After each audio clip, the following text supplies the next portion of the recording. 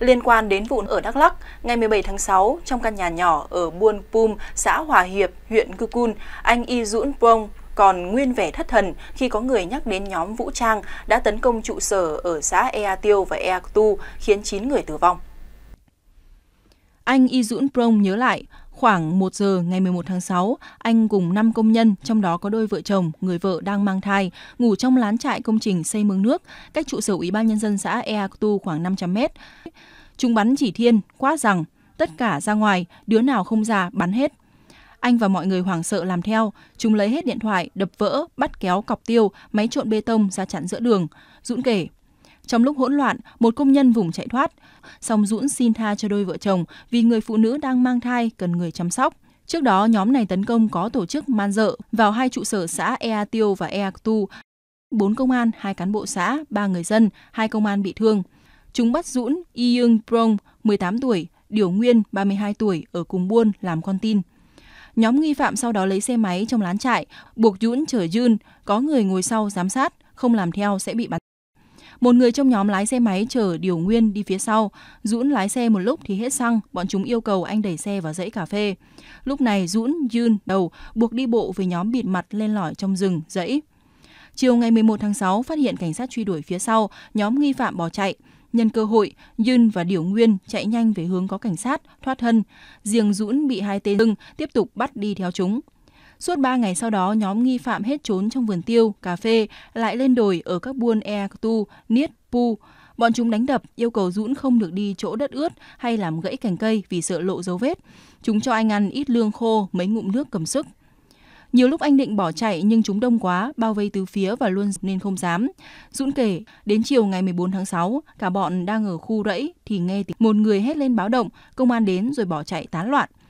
Dũng lúc này gần như kiệt sức nhưng đánh liều, chạy cảnh sát hỗ trợ giải cứu. Nhiều nghi phạm bị bắt sau đó.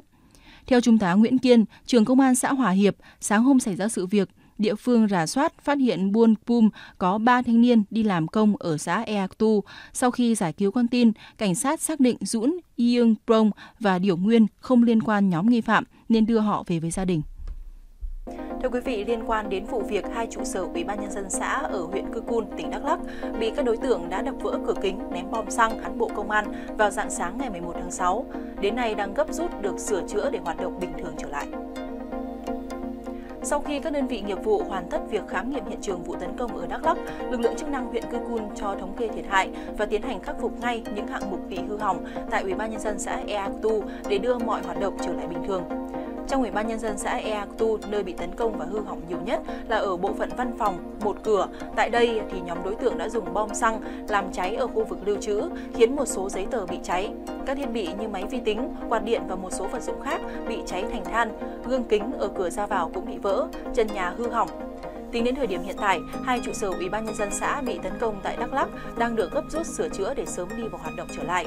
Cả hai xã Ea Tiêu và Ea Tu, huyện Cư Cun còn bố trí hai phòng tạm làm nơi tiếp nhận hồ sơ, trả kết quả cho người dân. Theo ông Nguyễn Kim May, Chủ tịch Ủy ban nhân dân xã Ea Tu chia sẻ, việc dọn dẹp, thống kê và khắc phục thiệt hại tại Ủy ban nhân dân xã được tiến hành khẩn trương, nhưng việc tiếp nhận, giải quyết hồ sơ cho người dân đã thực hiện từ ngày 13 tháng 6. Dự kiến việc sửa chữa hoàn thành trong 10 ngày. Còn với ông Hồ Viết Hùng, Phó Chủ tịch Ủy ban nhân dân xã Ea Tiêu bày tỏ, các lực lượng đã dọn dẹp để sửa chữa, khôi phục dãy phòng làm việc. Phòng làm việc của bộ phận một cửa bị hư hỏng nhiều nhất, rất may toàn bộ hồ sơ lưu, hồ sơ gốc đã lưu trữ ở khu vực khác.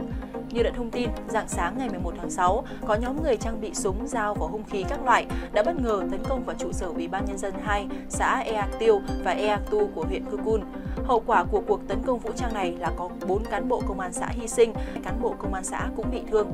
Đến nay, cảnh sát đã bắt cầm tổng cộng 62 nghi phạm tham gia tấn công, các nghi phạm phần lớn ở huyện Crongbuk của tỉnh Đắk Lắk. Trong số nghi phạm bị bắt có nhiều người cầm đầu. Cơ quan điều tra đang lấy lời khai, làm rõ vai trò của từng người và những người có liên quan, hung khí các loại và nhiều tài liệu, tăng vật khác. Thưa quý vị, đây là những dấu tích của vụ việc gây xôn xao trong những ngày vừa qua. Trụ sở Ủy ban Nhân dân xã Ia Tiêu và Ia Cờ Tư, trong đó thì có khu vực làm việc của Công an xã thuộc huyện Chư Quynh, tỉnh Đắk Lắk vào ngày 11 tháng 6 phòng làm việc của công an, phòng hành chính của Ủy ban Nhân dân xã Ia Tiêu và hệ thống máy tính, bàn làm việc đã bị các đối tượng ném bom xăng và cháy đen. Manh động hơn, các đối tượng này còn đập phá khiến trụ sở Ủy ban Nhân dân xã Ia Tiêu tan hoang, bụi bám đầy phòng làm việc của công an xã. Nhiều giấy tờ, đồ vật trong phòng bị thiêu rụi. Giấy tờ hành chính bị cháy nham nhở, vương vãi trên nền nhà. Còn đây là hình ảnh vết đạn xuyên qua cửa kính trong khuôn viên Ủy ban Nhân dân xã Ia Tiêu và nhiều cửa kính bị nhóm người đập vỡ. Thậm chí các đối tượng này còn thiêu dụi chiếc ô tô trong trụ sở Ủy ban Nhân dân xã Ia Cờ Tư và đâm thủng lốp một chiếc xe tải của người dân trên đường di chuyển. Ba ngày sau vụ tấn công, sáng ngày 14 tháng 6, lực lượng chức năng đã tổ chức dọn dẹp hiện trường tại trụ sở Ủy ban Nhân dân xã Ia Tiêu. Hiện các lực lượng chức năng vẫn đang tiếp tục truy bắt những đối tượng còn lại. Công an tỉnh Đắk Lắk kêu gọi những đối tượng tham gia vụ gây rối, mất an ninh trật tự đang lẩn trốn sớm ra trình diện để nhận được sự khoan hồng của pháp luật. Trước đó thì tỉnh ủy, Hội đồng Nhân dân, Ủy ban Nhân dân, Ủy ban Mặt trận Tổ quốc Việt Nam tỉnh Đắk Lắc đã có thư kêu gọi đồng bào, đồng chí, chiến sĩ trên địa bàn tỉnh đoàn kết một lòng, tin tưởng vào chủ trương, chính sách của Đảng, sự lãnh đạo của cấp ủy và điều hành của chính quyền các cấp. Trong thư nêu rõ, tỉnh ủy, Hội đồng Nhân dân, Ủy ban Nhân dân, Ủy ban Mặt trận Tổ quốc Việt Nam tỉnh Đắk Lắk kêu gọi đồng bào, đồng chí, chiến sĩ trên địa bàn tỉnh đoàn kết một lòng, tin tưởng vào chủ trương, chính sách của Đảng, sự lãnh đạo của cấp ủy, điều hành của chính quyền các cấp, tham gia tích cực vào phong trào toàn dân bảo vệ an ninh Tổ quốc, phát huy sức mạnh của thế trận quốc phòng toàn dân gắn với an ninh nhân dân vững chắc, phối hợp hỗ trợ các lực lượng chức năng thực thi nhiệm vụ, chung tay giúp đỡ, chia sẻ mất mát đau thương với các gia đình chiến sĩ, công an, cán bộ và người dân bị nạn. Yên tâm lao động, sản xuất, góp phần vào sự ổn định, phát triển của địa phương – đồng bào đồng chí, chiến sĩ không đăng tải, chia sẻ các thông tin liên quan trên mạng xã hội khi chưa được kiểm chứng, gây ảnh hưởng đến quá trình thực hiện nhiệm vụ của các lực lượng chức năng, gây hoang mang, lo lắng trong nhân dân và nêu cao cảnh giác, tuyệt đối không nghe, không tin, không theo các đối tượng phản động, các thế lực thù địch lợi dụng tình hình để xuyên tạc, lôi kéo chống đối chính quyền địa phương, gây mất an ninh chính trị trên địa bàn và trước những nỗ lực tuyên truyền, tuần tra, kiểm soát, đảm bảo an ninh trật tự của chính quyền địa phương, cùng với sự truy quét quyết liệt, sáng ngày 14 tháng 6, Trung tướng Tô Ân Sô, người phát ngôn Bộ Công an cho biết, báo cáo của Công an Đắk Lắk cho thấy tình hình an ninh trật tự toàn tỉnh đã trở lại trạng thái bình thường, các sinh hoạt xã hội thường lệ không có gì thay đổi. Người dân ở hai xã đã quay trở lại với cuộc sống thường nhật. Dọc tuyến đường nối trung tâm xã về các thôn, buôn, cuộc sống đã trở lại bình thường hàng quán đã mở, các hoạt động lưu thông hàng hóa đã trở lại. Và để các thôn buôn tại hai xã Ia Tiêu và Ia Cơ Tư sớm trở lại bình yên, ổn định cuộc sống, các lực lượng chức năng của tỉnh, chính quyền huyện, xã đã thúc trực ngày đêm, nỗ lực truy quét và bắt giữ các đối tượng gây rối.